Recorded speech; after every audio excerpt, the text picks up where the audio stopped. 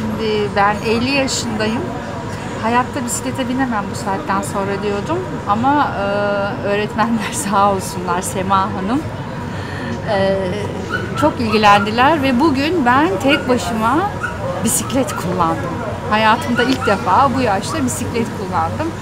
Şimdi hafta sonu inşallah bineceğim. E, kendi kendime bir deneyeceğim. Ama burada bayağı bir o özgüvenim kendine geldi diyebilirim. Yerine geldi.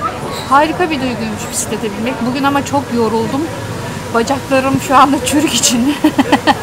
Ama çok güzel. Ee, inşallah bundan sonra turlara da katılacağız. Hep birlikte. Ee, ben ara ara yine geleceğim. Arkadaşları ziyaret edeceğim. Ee, iyi ki gelmişim. iyi ki tanımışım. iyi ki öğrendim. Vallahi bugün çok mutluyum.